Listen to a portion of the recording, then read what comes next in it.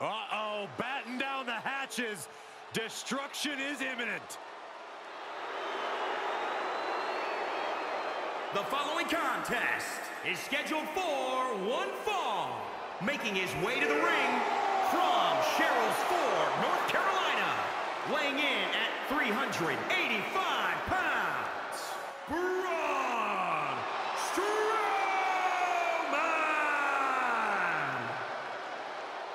Won many titles, including the Universal Championship. Yeah, but sometimes I feel like Braun Strowman is more interested in just causing pain.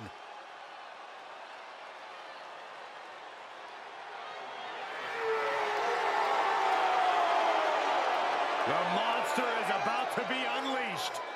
Brace yourself for impact.